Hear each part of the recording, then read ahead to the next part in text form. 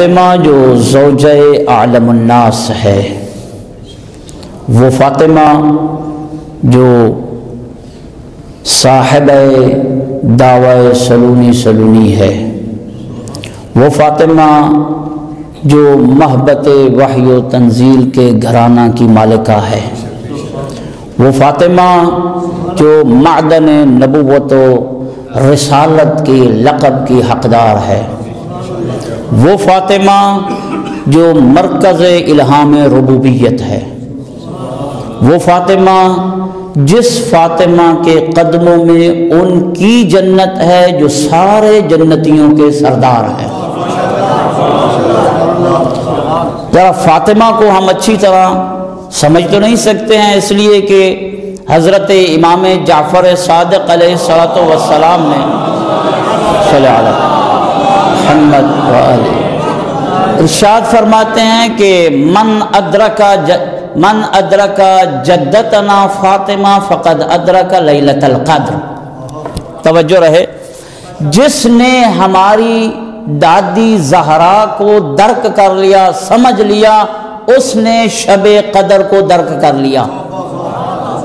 جیسے شب قدر کا درک کرنا ناممکن ہے اسی طرح ہماری دادی زہرا کی عظمتوں کو درک کرنا بھی ناممکن ہے۔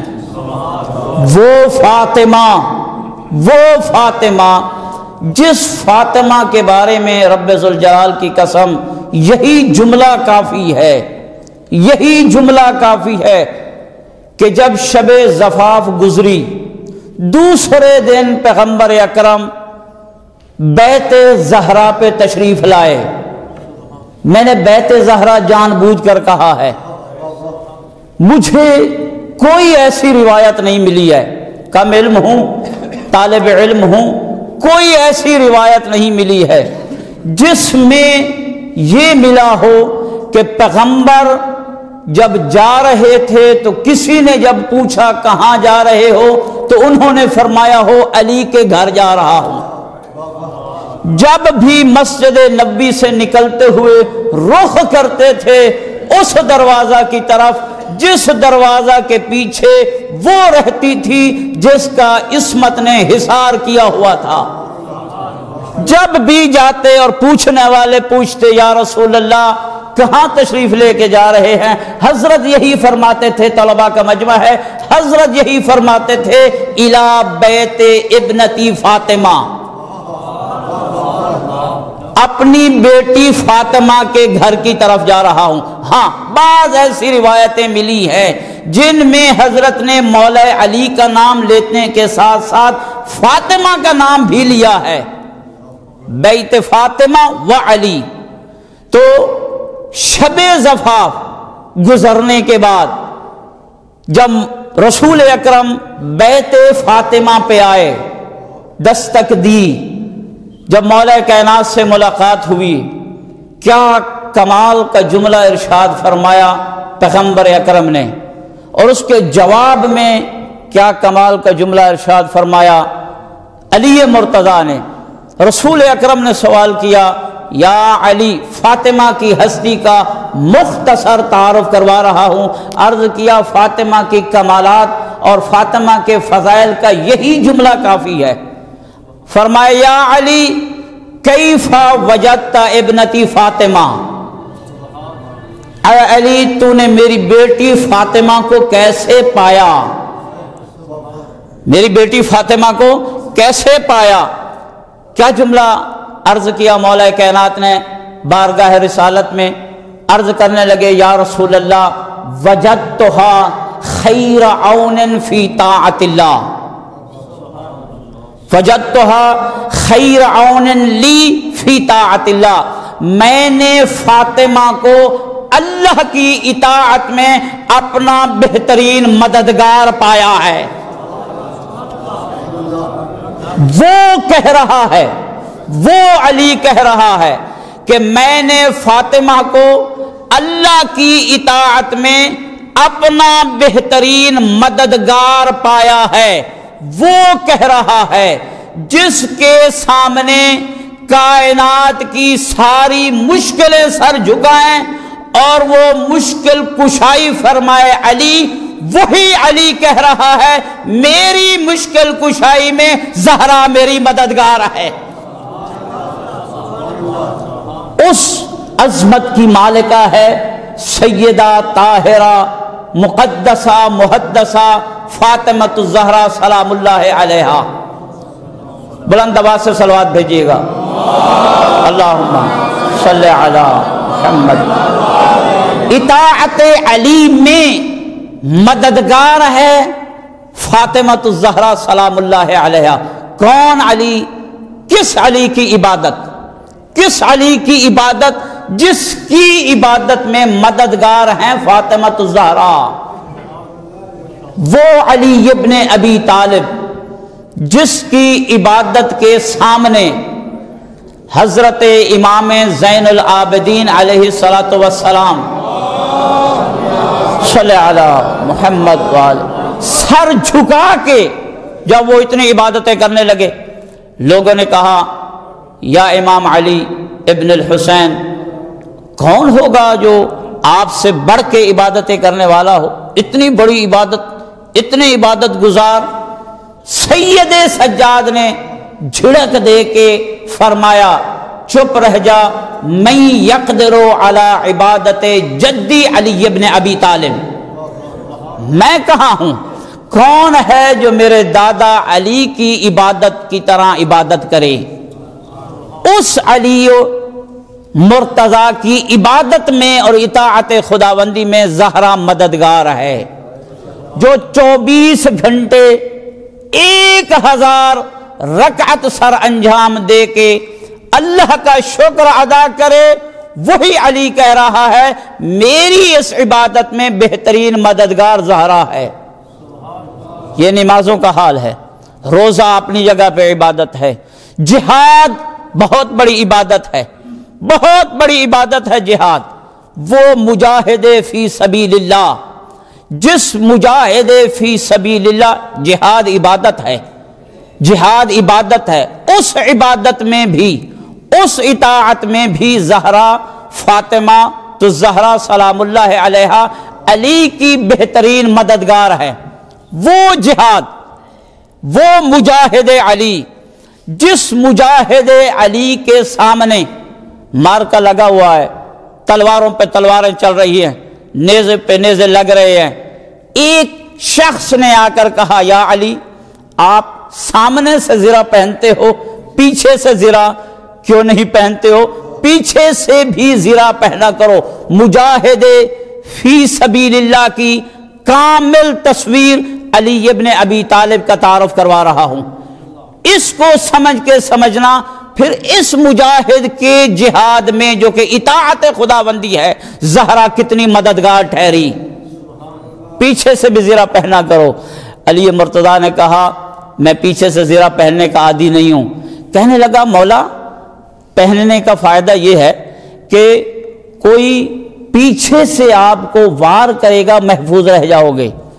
امیر کائنات نے فرمایا میں کسی کو پشت دکھا کر بھاگوں گا تو وار کرے گا۔ میں پشت دکھا کے بھاگنے والوں میں سے نہیں ہوں۔ میں کرار ہوں، کرار، حیدر کرار ہوں۔ اسی نے پلٹ کر سوال کیا۔ یہاں مجھے مولا کائنات کی شجاعت بیان کرنا مقصود نہیں ہے۔ وہ مجاہد جس کے جہاد کی اتنی واقعات ہیں کتابوں میں اس قدر جمع مردی کے ساتھ انہوں نے جہاد فرمایا، وہ یہ کہتا ہوا نظر آتا ہے، ائمہ کی کلام میں کوئی مبالغہ آرائی نہیں ہوتی ہے۔ فرمایا، فاطمہ میری اطاعت خدا بندی میں بڑی مددگار ہے۔ پلٹ کر اس نے سوال کیا، آپ تو پشت دکھا کر نہیں بھاگیں گے۔ لیکن ہو سکتا ہے کوئی دشمن چھپ کر وار کر دے۔ توجہ ہے، ہو سکتا ہے کوئی دشمن چھپ کر وار کر دے۔ اس کا یہ کہنا تھا، علی مرتضی نے آنکھوں میں آنکھیں ڈال کے ارشاد فرمایا، تو نے ابھی تک مقام امامت کو سمجھا ہی نہیں ہے۔ ابھی تک ان میں سے کئیوں نے بھی نہیں سمجھا تھا، اور آج بھی کئی ہیں جو خصوصیات امام اور امامت کو سمجھتے ہی نہیں ہیں۔ امام یعنی ہم جیسا ایک انسان، اور کوئی ہم سے تھوڑا سا بڑا مقدس، بڑا کوئی زاہد، بس۔ اس سے آگے کوئی امام نہیں ہے۔ آج بھی بعض لوگوں کے ذہن میں یہی ہے۔ امام اسے کہتے ہیں جس کے وجود کے صدقہ میں آسمان اپنی جگہ پر قائم ہے اور زمین اپنی جگہ پر قائم ہے، اسے امام زمان کہتے ہیں۔ کہنے لگا، مولا، کوئی چھپ کر وار کر دے گا۔ حضرت نے ارشاد فرمایا، تو نے مقام امامت کو سمجھا ہی نہیں ہے۔ نہنو نرا من الخلف کما نرا من الامام۔ ہم پیچھے سے بھی ایسے دیکھتے ہیں جیسے آگے سے دیکھتے ہیں۔ ایسے امام کی اطاعت خدا بندی میں بہترین مددگار ہیں سیدہ زہرا سلام اللہ علیہ۔ صلی علی محمد و آل محمد۔ تعجب ہوتا ہے کہ بعض حضرات جناب سیدہ طاہرہ مبارکہ صدیقہ فاطمت الزہرا کے جب مناقب بیان کرنا شروع ہوتے ہیں، مجالس پڑھتے ہیں، فضائل بیان کرتے ہیں، وہ مقابلہ کروانا شروع کر دیتے ہیں۔ مریم کی یہ صفت، جناب فاطمہ کی یہ صفت فلا بی بی کی یہ عظمت جناب فاطمہ کی یہ عظمت، یہ تقابل کروانا شروع کر دیتے ہیں۔ میرے دوستو، کیا مجال ہے جناب مریم کی جناب فاطمہ کے سامنے؟ توجہ۔ کیا مجال ہے اور اس پہ لوگوں کی گفتگویں ہیں اور وہ اس پہ ان کی مجلسیں ختم ہو جاتی ہیں کہ مریم کی یہ فضیلت اور جناب زہرا کی مقابلہ ہی نہیں ہے جناب زہرا کا جناب مریم کے ساتھ۔ جس مریم توجہ رہے، جس مریم کے لیے۔ توجہ ہے یا نہیں ہے؟ جس مریم کے لیے قرآن مجید میں ایک دفعہ آیت آئی ہے، یا مریم، ان اللہ ہستفا کے و تہر کے وصطفیٰ کے اللہ نساء العالمین۔ اور اس ایک مرتبہ نازل ہونے والی آیت پہ آج بھی عیسائیت، مسیحیت بڑی اترا رہی ہے۔ اللہ کی طرف سے یہ جناب مریم کے منتخب ہونے اور جناب مریم کی تہارت کی گواہی آئی ہے۔ یا مریم، ان اللہ استفا کے و تہارا کے وصطفیٰ کے علا نساء العالمین۔ ایک دفعہ جبرائیل یہ آیت لے کر آیا، قلب مصطفیٰ پر مسلمانوں کو اس عقیدہ کے رکھنے کے لیے کہ جناب مریم کی یہ شان۔ ایک دفعہ یہ آیت آئی، رب ذوالجلال کی قسم صادق آل محمد کا فرمان ہے۔ جب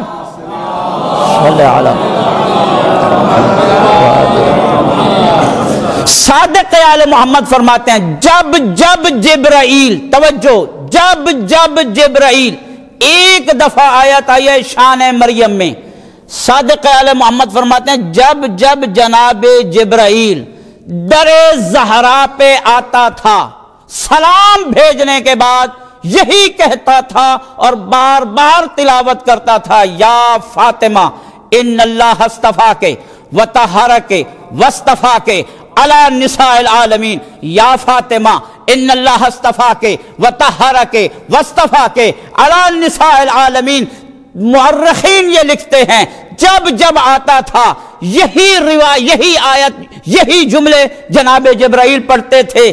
اس کا مطلب یہ ہے اگر مریم کے لیے یہ ایک دفعہ نازل ہوئی ہے آیت، تو جناب زہرا کے لیے جبرائیل کو یہ قصیدہ بنا کے نازل کیا جاتا تھا۔ سیدہ طاہرہ کا مقابلہ حاجرہ سے نہیں ہے، آسیہ سے نہیں ہے سارا سے نہیں ہے ہوا سے نہیں ہے، کوئی مقابلہ ہی نہیں ہے۔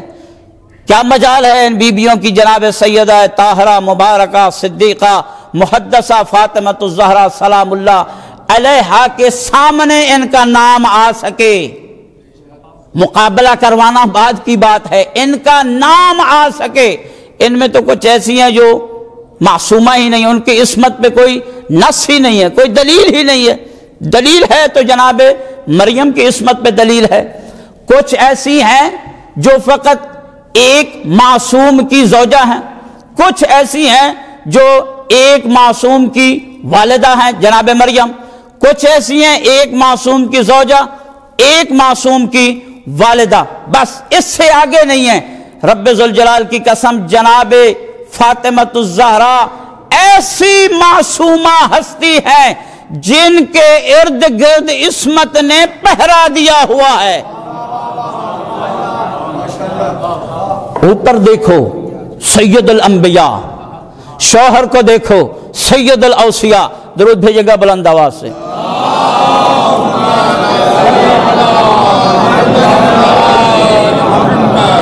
بیٹے دیکھو، توجہ، بیٹے دیکھو تو ایسے بیٹے ایسے بیٹے جن کے صدقہ میں نبیوں کو عصمت عطا ہوئی۔ جن کے صدقہ سے، محمد و آل محمد کے صدقہ سے انبیاء کو نبوتیں ملی۔